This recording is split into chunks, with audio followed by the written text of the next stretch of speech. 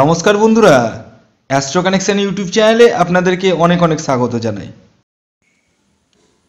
বন্ধুরা, আজ আমি আপনাদেরকে জানাতে চলেছি পাঁচই জুন যে চন্দ্রগ্রহণটি সংগঠিত হতে চলেছে, তার ফলে এই ছয়টি রাশির, অর্থাৎ কন্যা রাশি, সিংহ রাশি, কুম্ভ রাশি, ধনু রাশি, বৃষ রাশি এবং বৃশ্চিক রাশির জাতক ও জাতিকার উপর কী প্রভাব পড়তে চলেছে?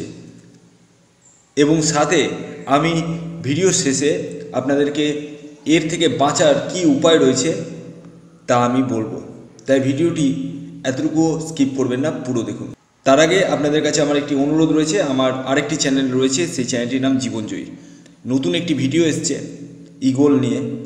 আমি আপনাদেরকে বলব, ভিডিওটি দেখুন শিওর আপনারা সাবস্ক্রাইব অবশ্যই করবেন। তো আসুন, বেশি দেরি না করে শুরু করা যাক।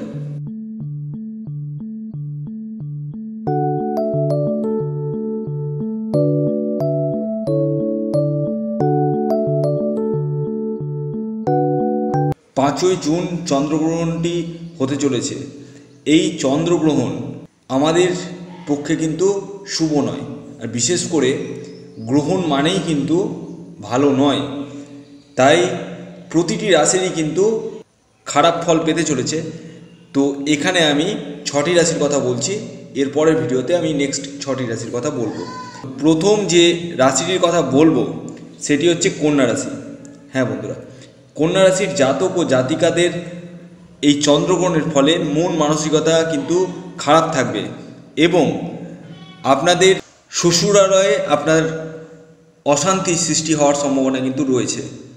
আমি কিন্তু অ্যালার্ট করলাম কন্যা রাশির জাতক ও জাতিকাদের। এরপরে আসি সিংহ রাশি সিংহ রাশির জাতক ও জাতিকাদের এই চন্দ্রগ্রহণের ফলে আপনাদের পড়াশোনার মন মানসিকতা কিন্তু নষ্ট হতে চলেছে। অর্থাৎ পড়ায় মন বসবে না এবং রেজাল্ট একটা খারাপ হওয়ার কিন্তু সম্ভাবনা কিন্তু রয়েছে। এরপরে আসি কুম্ভ রাশি। কুম্ভ রাশির জাতক ও জাতিকার এই চন্দ্রগ্রহণের ফলে আপনাদের বসের সাথে একটা মনোমালিন্য তৈরি হবে। এছাড়াও পরিবারেও কিন্তু আপনার মনোমালিন্য তৈরি হতে চলেছে এবং অর্থনৈতিক ক্রাইসিস কিন্তু আসতে চলেছে। এরপরে যে রাশিটির কথা বলব সেটি হচ্ছে ধনুরাশি ধনুরাশির জাতক ও জাতিকার এই চন্দ্রগ্রহণের ফলে আপনাদের দাম্পত্য জীবনে কিন্তু কলহ দেখার সম্ভাবনা কিন্তু রয়েছে। অর্থাৎ পরিবার এবং দাম্পত্য জীবন দুটোতেই কিন্তু প্রবলেম থাকবে এবং পাশাপাশি আপনাদের মন মানসিকতা কিন্তু একদমই ভালো থাকবে না। এরপরে আসি বৃষ রাশি। বৃষরাশির জাতক ও জাতিকার এই চন্দ্রগ্রহণের ফলে আপনাদের মন মানসিকতা তো ভালো থাকবেই না এবং পাশাপাশি আপনাদের কিন্তু এই এই চন্দ্রগ্রহণের ফলে প্রেমে বাধা এবং প্রেম থেকে একটা মনোকষ্ট তৈরি হতে চলেছে। এছাড়াও আপনাদের কিন্তু এই চন্দ্রগ্রহণের ফলে আপনাদের পরিবারে গণ্ডগোল কিন্তু লাগার সম্ভাবনা কিন্তু রয়েছে। এরপরে আসি বৃশ্চিক রাশি। বৃশ্চিক রাশির জাতক ও জাতিকার এই চন্দ্রগ্রহণের ফলে আপনাদের কিন্তু শ্বশুরালয় থেকে প্রবলেম আসতে চলেছে এবং কর্মস্থান থেকে কিন্তু প্রবলেম আসতে চলেছে এবং পাশাপাশি আপনাদের দাম্পত্য জীবনেও কিন্তু প্রবলেম আসতে চলেছে। এবার আমি আপনাদেরকে জানাতে চলেছি, এই চন্দ্রগ্রহণ থেকে বাঁচার কী উপায় রয়েছে। প্রথমত, চন্দ্র আমাদেরকে দেখে মন এবং মানসিকতা।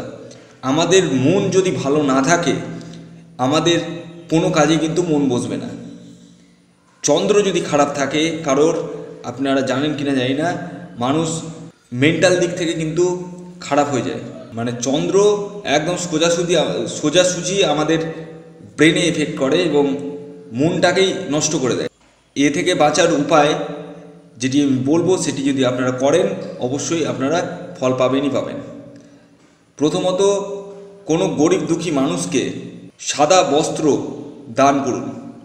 দ্বিতীয়, আপনার মা, যেটা ভাইটাল পয়েন্ট আপনার মাকে সেই দিন প্রণাম অবশ্যই অবশ্যই করবেন এবং আমি এই প্রসঙ্গে একটি কথা বলে রাখি, যারা মায়ের সঙ্গে দুর্ব্যবহার করবে, মা তাদের কিন্তু এই কথাগুলো কিন্তু একদম অক্ষরে অক্ষরে ফুলে যাবে। আর যারা মায়ের সাথে ভালো ব্যবহার করবেন, তারা কিন্তু এই রকম ফলটা কিন্তু পাবেন না। কিছু পরিমাণ পাবেন, কিন্তু এত পরিমাণ পাবেন না। এবং সেদিন অবশ্যই আপনারা সকলেই যতগুলো রাশি বললাম, প্রত্যেকেই মাকে প্রণাম করুন এবং গরিব দুঃখীকে বস্ত্র প্রদান করুন। তো ভিডিওটি কেমন লাগল অবশ্যই জানান। যদি ভিডিওটি ভালো লাগে, এখন একটি লাইক করে দিন শেয়ার করে দিন, এবং এখনও পর্যন্ত সাবস্ক্রাইব না করে থাকলে সাবস্ক্রাইব করে নিন। ধন্যবাদ।